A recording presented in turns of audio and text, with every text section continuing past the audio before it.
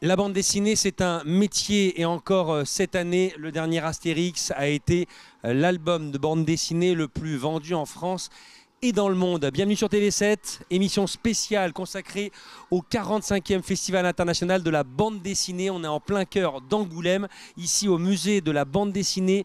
On va tout vous raconter sur cette 45e édition en bord de Charente. On retrouve Stéphane Vacchiani et ses invités Stéphane.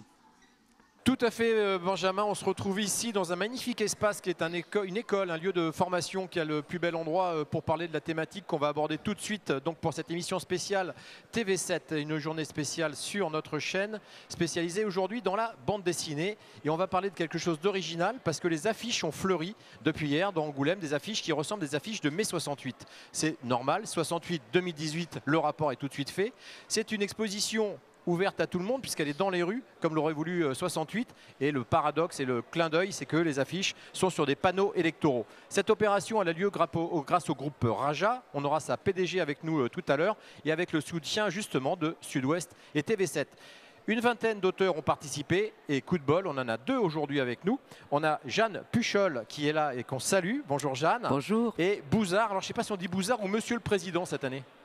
Guillaume Bouzard. On dit Guillaume Non, parce que comme vous avez été président maintenant. président. Voilà. Président à vie. je rappelle, vous avez été Ah, président euh, d'un prix important cette année pour la BD. Oui, oui, exactement. Oui, je suis très fier.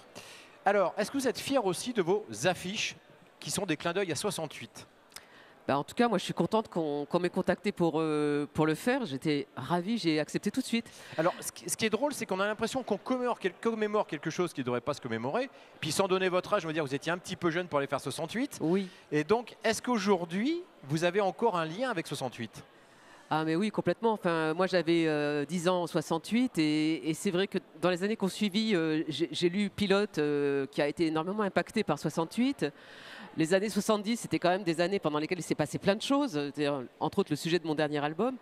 Donc voilà, les années où j'étais lycéenne et étudiante, on sentait encore l'influence et l'importance de mai 68 en tant que phénomène de contre-culture, de phénomène de, subversion, de, revendication, de révolte.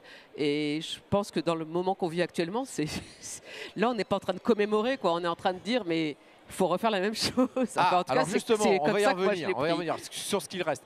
Vous avez été doublement pudique. Pudique parce que vous avez euh, parlé de votre album, on va dire lequel c'est. C'est chez Dargo, ça s'appelle Interférence et ça parle pas mal de radio. Et euh, par rapport aussi au travail que vous avez fait euh, sur 68, il y a un gros travail qui est fait sur ces affiches qui a été aussi relayé donc, par notre ami Bouzard. C'est que vous avez gardé volontairement le graphisme des affiches de 68. J'aimerais bien que vous nous en parliez.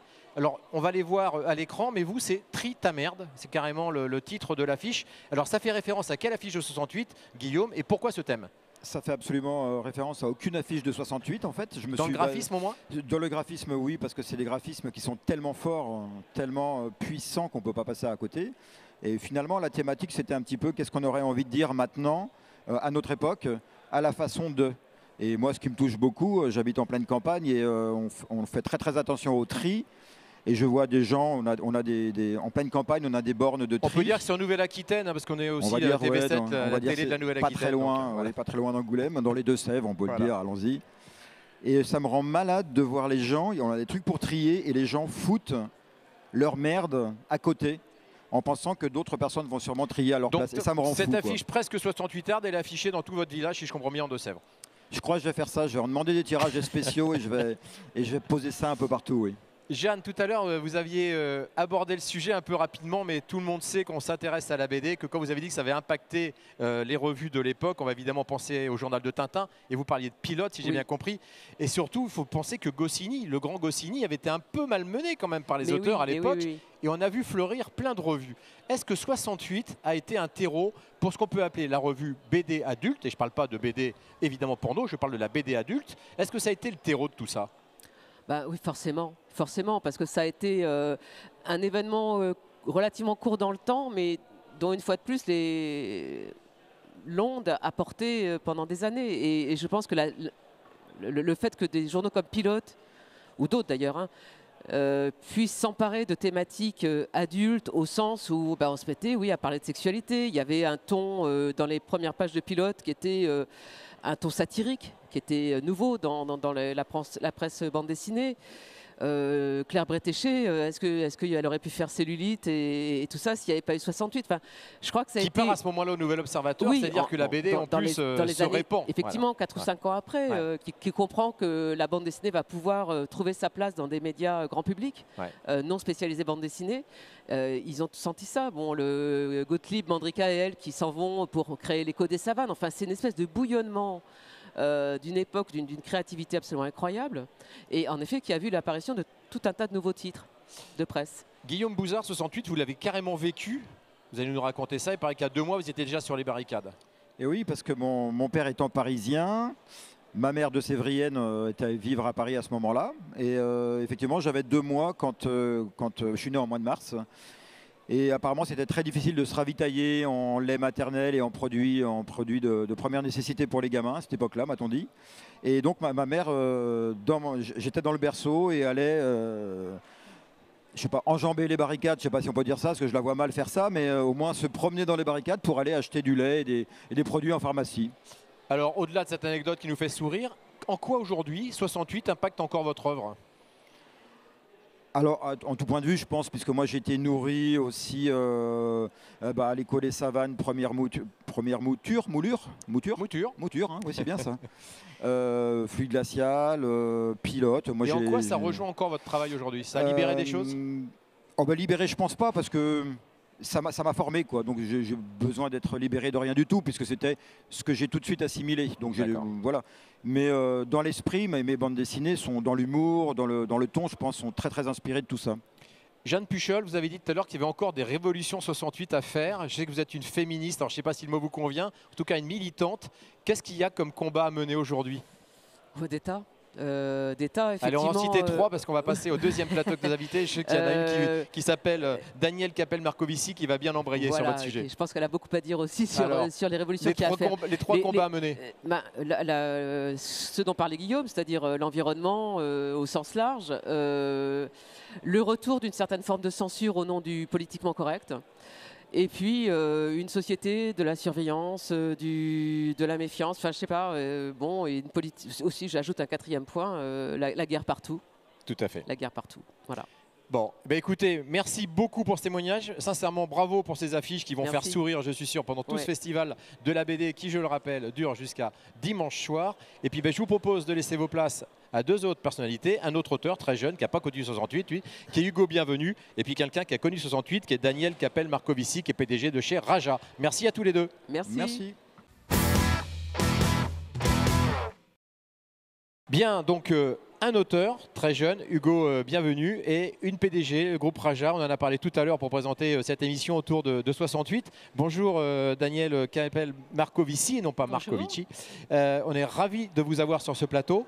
Qu'est-ce qui prend à une PDG de dire on va re- remettre en avant des affiches de 68 Alors, euh, le, euh, l'intention, la volonté de participer euh, d'abord non seulement aux affiches, à la publication de ces affiches mai 68 euh, euh, 2018, euh, c'est en fait une petite partie de la volonté du groupe Raja de participer et d'être partenaire du festival. euh, Tout à fait, vous faites bien de le rappeler. de- Première année, c'est la première fois qu'on vous voit ici parmi Absolument. les lourds partenaires de Cécile qui en a bien besoin. Merci pour eux. Voilà. Mais quand même, sur la thématique 68, j'y reviens parce que ça peut surprendre. J'ai annoncé PDG du groupe Raja, on va le dire rapidement, leader européen de son domaine, donc c'est pas rien. Et bingo, Voilà, vous venez, vous dites, bah, allez-y, on va remettre de l'affiche 68.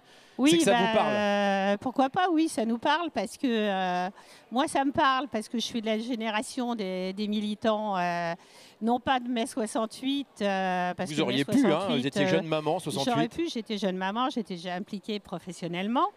Euh, ce qui euh, fait date. Euh, mais à cette époque-là, les femmes n'étaient pas très, très impliquées dans les, dans les mouvements de mai 68, pas plus dans les mouvements de droite que de gauche, ou d'ex- d'extrême gauche encore moins. Mais par contre, dans les années qui ont suivi, c'est vrai que les femmes ont été à la pointe de, de- la lutte et des luttes, euh, non seulement féministes, mais euh, à tout point de vue, les luttes pour euh, beaucoup de, de sujets humanistes et sociaux dans les années 70. Il n'empêche que vous m'avez dit pour une interview pour, pour le journal Sud-Ouest, j'ai vécu 68 avec ma chair et mon cœur. Qu'est-ce que ça veut dire 50 ans après de dire ça? Ah, ça veut dire que hum, ça a été euh, assez fondateur, pas seulement pour moi, mais pour ma génération, de, euh, d'ouverture, euh, d'ouverture d'esprit, euh, de liberté, euh, de combat et de lutte qu'on pouvait mener euh, dans les, et qu'on a mené dans les années 70. Hugo, bienvenue. Euh, vous êtes arrivé après les années 70, vous avez 30 ans. Qu'est-ce qu'aujourd'hui 68 représente pour vous? Bah, c'est la génération de mon père, donc euh, je, quand j'entends 68, je pense à mon père. Et, euh, Et moi, votre c'est- mère, non et votre- non, ma mère, elle, Non, est, pas elle a en 10 fait. ans de moins que mon père et elle a, elle a pas du tout la même vision de 68 que lui. Elle a une vision un peu plus dure que lui de 68. Et, euh, mais, euh, et voilà, donc moi, c'est vraiment mon, c'est mon père. Et, euh, Et qu'est-ce que ça représente aujourd'hui, au-delà de l'image du père C'est qu'est-ce que, qu'est-ce- quel message vous gardez de 68 Le message, c'est que euh, j'en parlais avec mon éditeur ce matin, c'est qu'il lui aussi est un de cette génération-là, Jean-Luc Fromental. C'est Tout à fait. c'est qu'en fait, ils ont, ils ont créé peut-être pour la première fois une génération où les, les fils ne doivent pas se révolter contre leur père parce qu'on a le. On a, le, on a le droit de ramener une fille à la maison, on a, on a des droits que leur génération n'avait pas. On a, Et, Et, ça, vous euh, reconnaissez que c'est euh, cette génération 68 qui a apporté ses droits, qui a gagné ses droits? En tout cas, qui a gagné une liberté et qui, nous l'a transmise et, qui, euh, c'est à nous de faire, euh, voilà, d'exercer cette liberté au mieux. euh. Alors en parlant de liberté, vous, votre dessin qu'on va voir à l'écran, c'est un nom énorme qu'on a vu à l'époque Ouais. fleurir à 68, mais alors le dessin n'a plus rien à voir. Expliquez-nous le sens de votre dessin avec cette femme nue. parce qu'il y a une affiche dans les années 68 qui disait juste non et que bah, je- voilà moi aujourd'hui je me disais à quoi on peut dire non? et aujourd'hui euh, le seul vrai non total qu'on peut dire c'est non à la fin du monde parce que ce que je disais à madame tout à l'heure c'est qu'on on est on, notre génération a- avance tous les jours en se disant que euh, on va peut-être connaître la fin du monde ou si c'est pas nous en tout cas nos enfants et, euh, et, euh, et ça nous pose une question est-ce qu'on fait des enfants si c'est pour qu'ils voient la fin du monde? Voilà c'est un peu le c'est un peu le problème de notre génération, j'ai l'impression. Est-ce que vous voulez avoir un message rassurant par rapport à ce jeune auteur Oui, ou est-ce que vous partagez son inquiétude? Oui, je lui disais tout à l'heure, je lui dis, mais euh, finalement, euh, les, les luttes, il bah, faut, les, faut les reprendre, euh, finalement. euh, parce qu'à l'époque, euh, on manifestait contre le nucléaire. Bon, alors aujourd'hui, On peut on dit continuer, que le hein, c'est- plus à risque, mais il y en a d'autres Ouais. qui sont écologiques, qui sont les changements climatiques, etc., puisque c'est ça le sujet. Euh, je pense qu'il y a des moyens d'agir. Et euh, c'est ce que je fais aussi avec le groupe Raja et la Fondation euh, pour les femmes. On a des programmes euh, femmes et environnement et on se bat justement contre euh, euh, les sujets climatiques et on fait participer des femmes qui sont à la fois victimes mais actrices aussi du changement climatique et on les soutient dans leurs projets en Afrique et dans le monde. Donc il faut, il faut continuer les luttes de mai 68. Alors justement, euh, par rapport à ça, Jeanne Puchol, euh, qui en parlait tout à l'heure euh, sur ce même plateau, disait qu'elle aussi, il fallait reprendre les luttes. Euh, le regard de, de vos 30 ans sur les luttes à mener aujourd'hui, les trois priorités, ça serait quoi? Bah, L'écologie, euh, les droits de l'homme euh, et de la femme. Enfin, pour, quand je dis l'homme, c'est je pense à la femme. Pourtant, vous euh, venez de nous dire que vous avez l'impression que ça a été bien libéré euh, depuis 68. euh. Oui, mais bon, c'est- ça s'améliorera. Enfin, il faut toujours améliorer les choses, quoi. Faut, faut, mais c'est idéaliste, mais il faut toujours essayer de les, les- les améliorer. Il ne faut pas s'arrêter là. Mais je pense que c'est les deux, les deux seuls, enfin les deux principales en tout cas. Et puis, euh, ouais. Une petite question technique pour finir ce plateau et, et remercier votre présence. Si on cherche bien, on voit peu, quasiment pas, de bandes dessinées qui ont traité mai 68.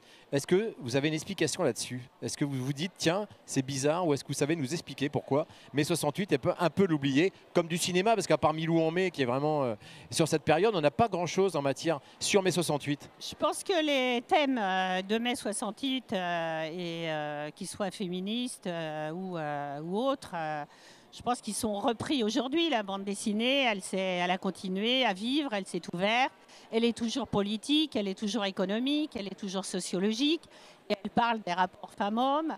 Donc, euh, elle en parle autrement. Allez, c'est transversal. Mais euh, c'est transversal et elle en parle autrement, mais euh, c'est bien qu'elle en parle parce que c'est important euh, aujourd'hui que euh, les, les auteurs et les autrices euh, de bande dessinée s'expriment sur tous ces sujets. Allez, un dernier mot avant de vous remercier. Je vous remercie chaleureusement. Une petite info. puisque Hugo, euh, bienvenue, qu'on remercie encore d'être venu nous voir, a mis une femme nue sur son affiche. Il faut savoir que la première femme nue en bande dessinée, c'était après mai 68, il n'y avait jamais eu publié avant, et donc c'était à l'époque une révolution.